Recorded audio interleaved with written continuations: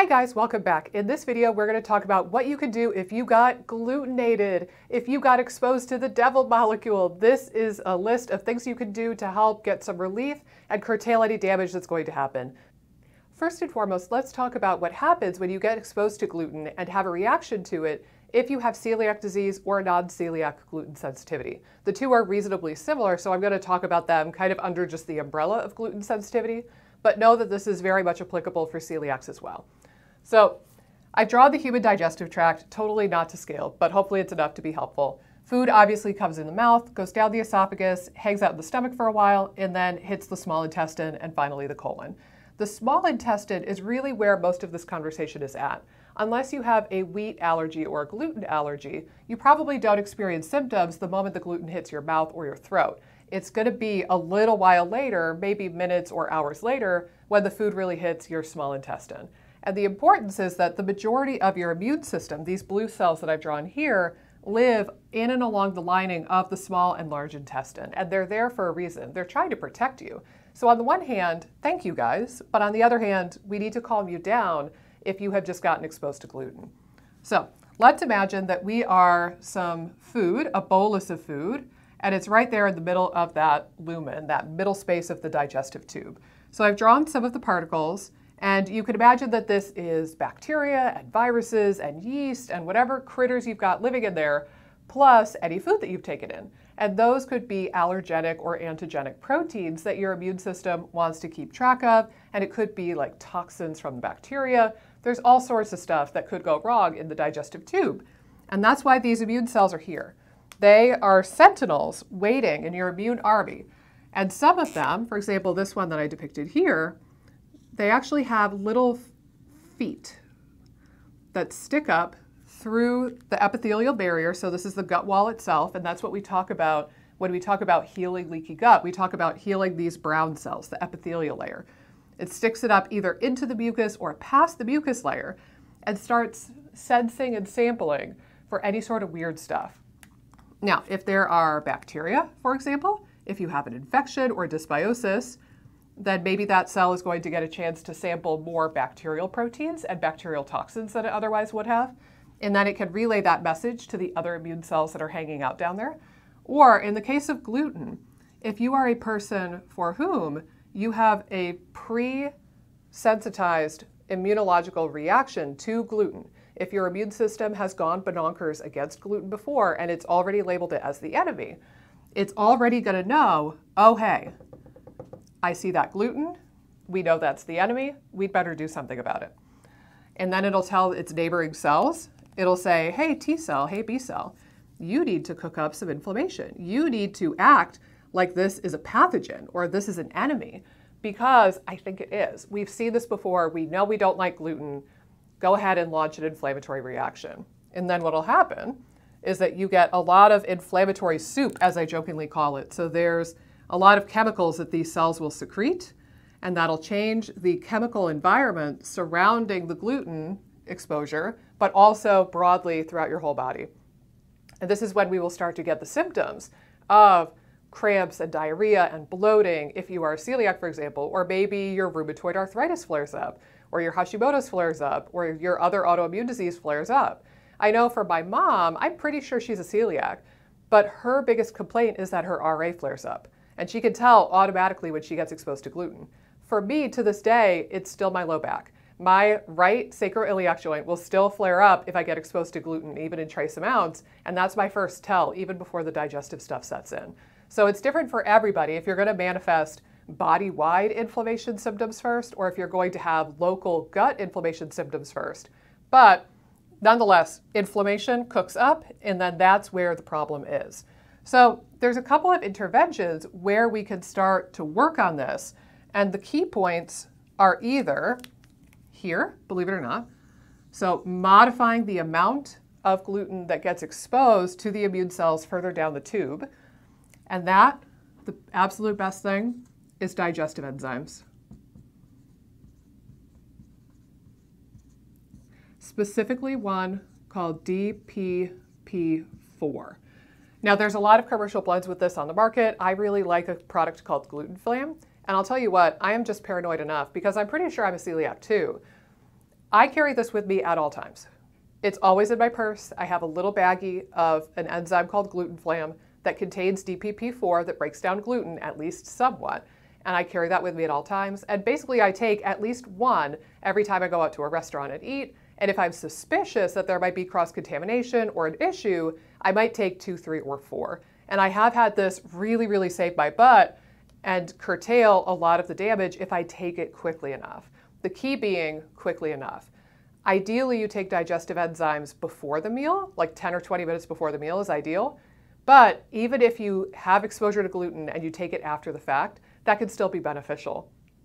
Never forget, I was in San Diego for a conference and I was yucking it up with my friend. We hadn't seen each other in a long time, and our food arrived. And I'd already just absolutely grilled the, the guy about whether or not it was gluten free, and he assured me it was quinoa.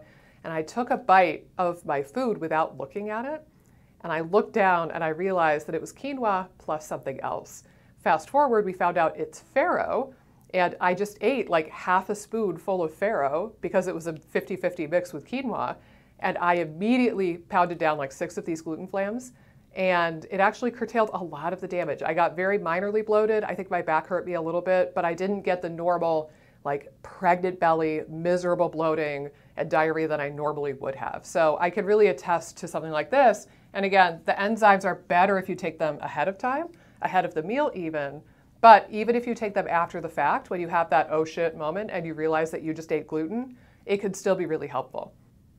Now, it's worth pointing out at this stage of the game that we can try to break down the gluten with digestive enzymes, and we can try to make that molecule unrecognizable to the immune system, but we can't just bind it up. I know a lot of people on the internet and in Facebook groups talk about using binders like charcoal or clay to try to bind up the gluten and detox from this reaction. And I just don't think that that's been helpful. I've, I've seen a couple of people comment about using it and it didn't really help them. Really, what I use charcoal and clay and binders for is bacterial toxins. They're much smaller, they're a little bit more charged, and that's what the charcoal is going to pull in.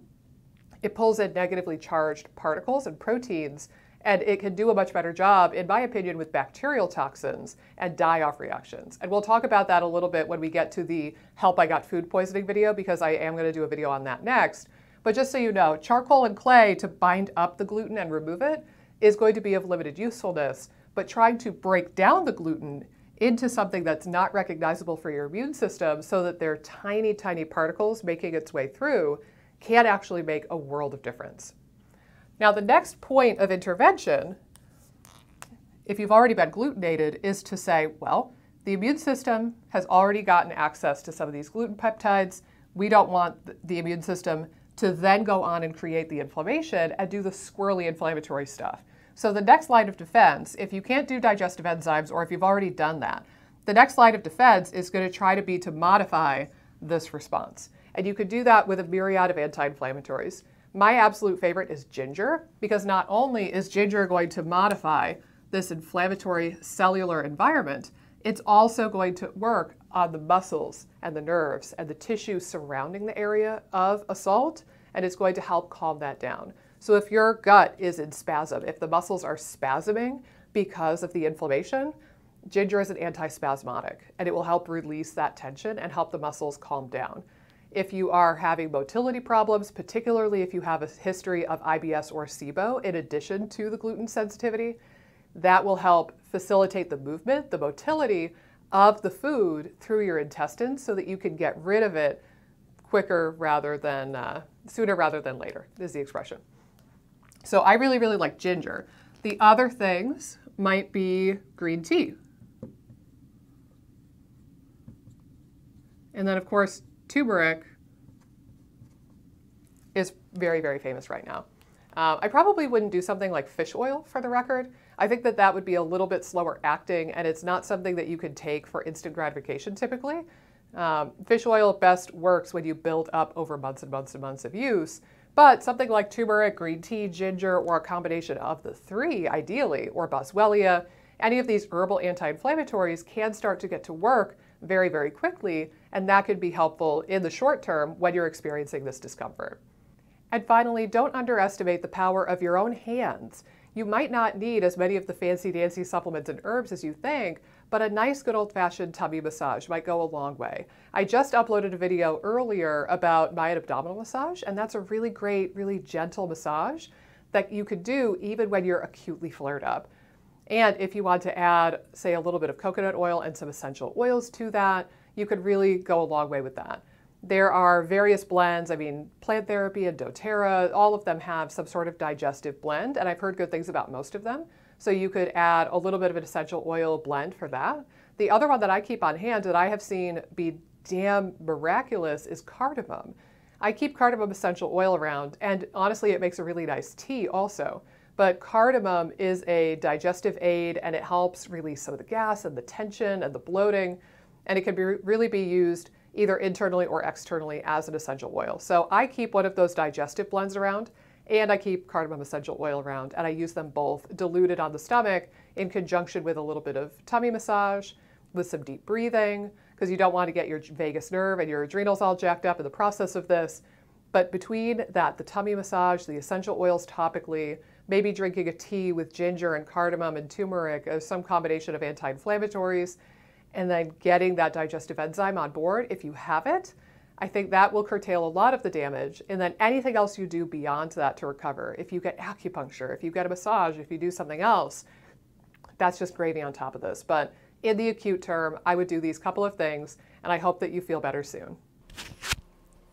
Hey guys, if you like this video, be sure to subscribe, ring the bell, click the like button, and leave a comment down below with the videos that you would like to see me do next. Doing all of those really helps support the channel and support my efforts in making as many videos as possible for you guys. Thanks so much, and I'll see you in the next video.